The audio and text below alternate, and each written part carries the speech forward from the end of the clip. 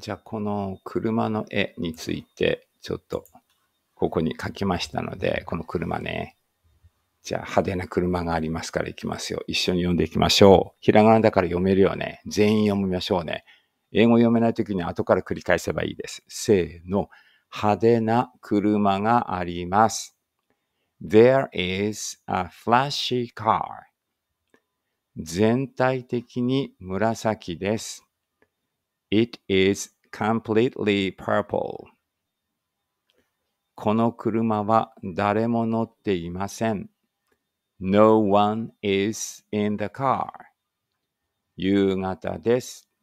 It's evening. ちょっと昔の車です。It's an old car. 光っています。It's shiny. 遠くに電線があります。